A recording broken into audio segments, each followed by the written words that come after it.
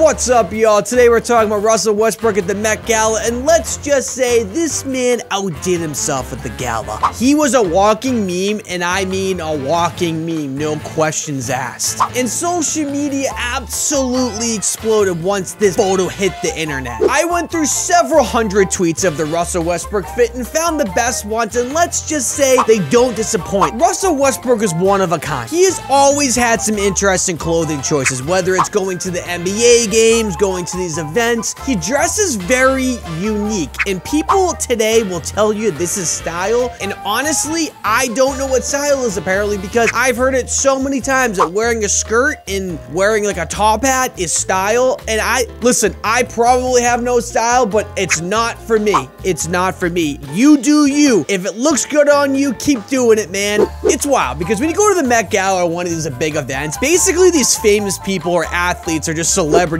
go and they just try to outdo themselves wearing the most ridiculous nonsense possible. Literally wearing like big puffy stuff, you know, like Jared Leto looked like, I, I don't even know what to even call this. These people are insane and they live a different world and this is what the Met Gala is about, just to see what type of nonsense that people are wearing. But I gotta say though, this man Russell Westbrook rocks the hell out of that top hat. Let's get into the tweets. So the most obvious one is he looks like Willy Wonka from the Chocolate Factory. I mean, that's like just an instant thing. I think everyone thought that, and he does. Very similar. And then a thread of tweets after that started getting me, you know, feeling hilarious. There wasn't a ton of memes, but there was some good ones when you know where to search in the right places. And then right off that Willy Wonka one, someone said Russell Westbrook in the Brick Factory. And this is my personal favorite. He looks like the Quaker Oats guy. I mean, he does look like him. I'm not gonna lie to you. He looks like he's about to tell you a riddle. Man, he does. He looks like he's about to tell you something that will confuse you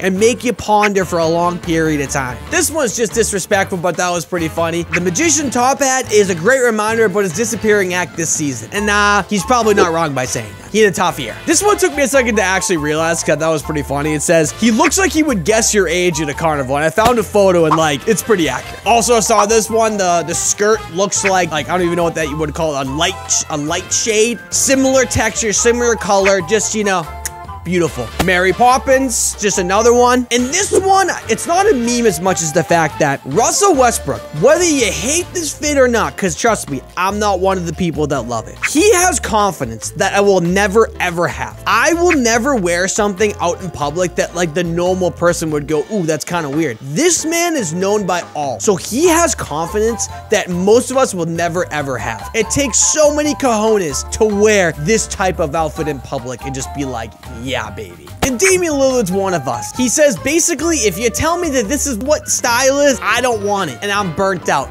I feel the same way. How can you tell me this is what people are supposed to wear? I mean, like I said, they look good actually in it. Like, they all rock it. I could never even rock it, so good on you. Imagine leaving your house saying, yep, I'm about to rock this today. You're wearing a, like, a garbage bag out in public and be like, yep, that's style. That's it, y'all. If you enjoyed this video, please subscribe down below because we get a lot more of these coming. Talk to you guys soon.